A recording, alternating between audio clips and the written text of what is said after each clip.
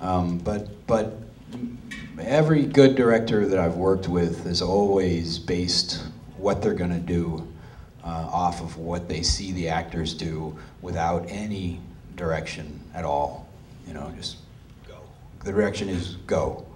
Uh, and, that, and that's always a sign of a, of a good director who can, because you, you want, you know, the, you just want it to be as spontaneous and as sort of motivated by the characters as, as possible, you know.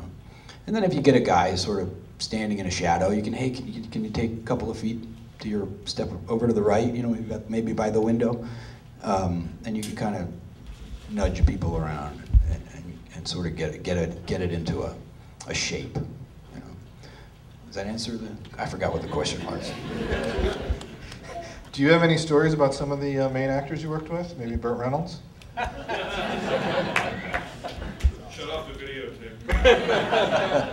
yeah, pause, please. Um, no, I, I you know, I was a young uh, guy. I didn't know a lot of people, and um, and uh, you know, I made made a lot of friends on that movie.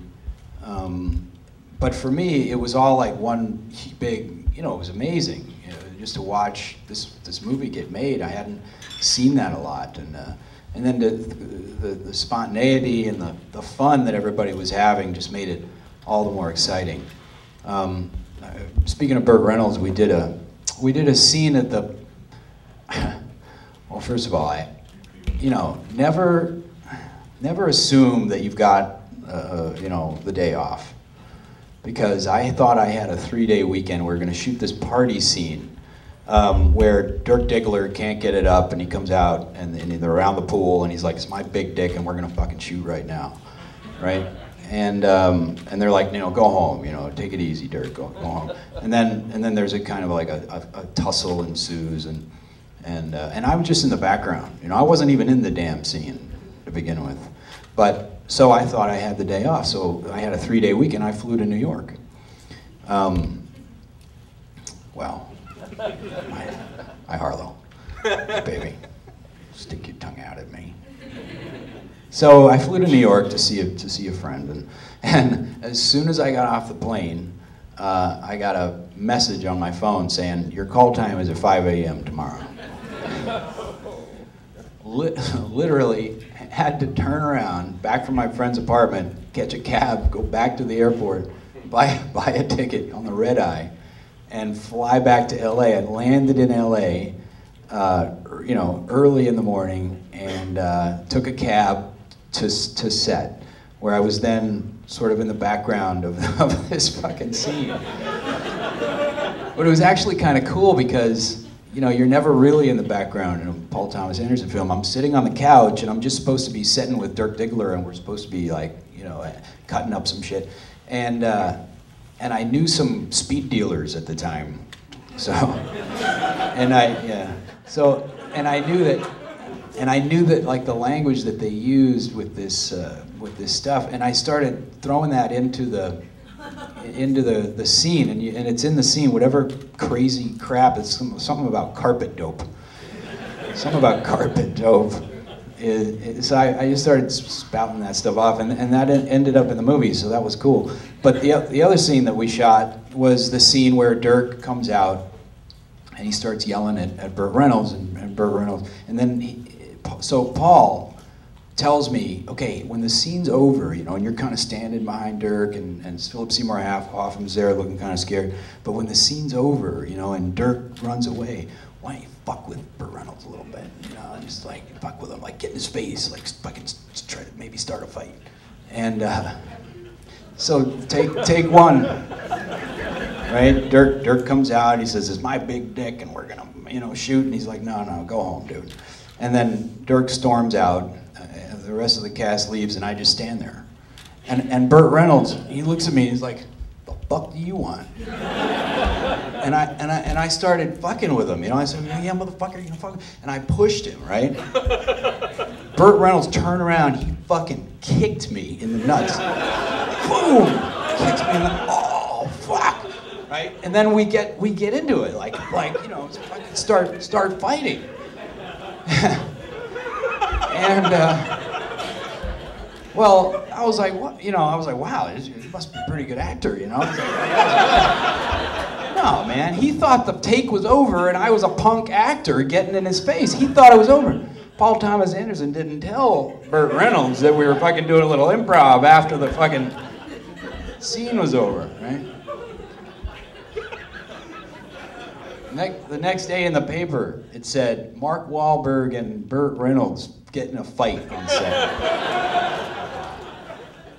and uh, to to his credit, he also uh, he gave me a bottle of champagne. I don't, I don't drink champagne, but thanks. You know, but it was cool. He, he, he left me a bottle of something in, in the trailer the next day, and and and he actually uh, turned out to be really really cool. The other great memory I have of Boogie Nights is during that big party scene with the, you know, the, the big long Steadicam shot where we had all the actors there and it's New Year's Eve or whatever it is, and and um, well, you know that that took forever to shoot. It took all night, maybe maybe a couple of nights. I can't remember to shoot this one Steadicam shot. So all the actors would sit around with really nothing to do, and they're all kind of bullshitting in, the, in this house in the middle of nowhere. And instead of going to his trailer, Burt Reynolds would hang out. And you know, we're all young actors, and we all started uh, talking to him. And I remember we were all sitting on the living room floor, you know, waiting for them to set up. And we're all these young guys and girls sitting on the floor, and Burt sitting in a, like a, a, a big, you know, puffy chair. And, and he started telling us uh, stories about being a young actor in New York City and uh, you know running into Marlon Brando and auditioning for stuff and not being able to get work because he looked just like Marlon Brando, and, which, which you know I mean, uh, it, which is true, but um, it was really fun to uh, to sit we sit there for a couple hours and just just hear Burt Reynolds tell all these neat stories, and, and for some reason that really stuck with me. You know, that, that's that was a really neat moment know, to, to uh, it's kind of because it's an oral tradition. This acting stuff, this this theater acting. You know, this is an oral tradition. It's it's something that's passed down from person to person, from actor to actor. You know, that's how actors learn. It's how we learn our craft, and and it's how it's you know we're literally standing on the shoulders of all the guys that have come before us, and I kind of saw that link, you know, uh, up close and and personally um, watching Burt kind of share his his experience with us, and, and uh, it was it was a neat moment for us. Yeah. Okay. You want to watch the movie? We can take a couple audience questions if you're yeah, cool sure. with that. Yeah. Anyone have a question for Tom? Okay, let's watch the movie. Yeah, we got one question. Yeah.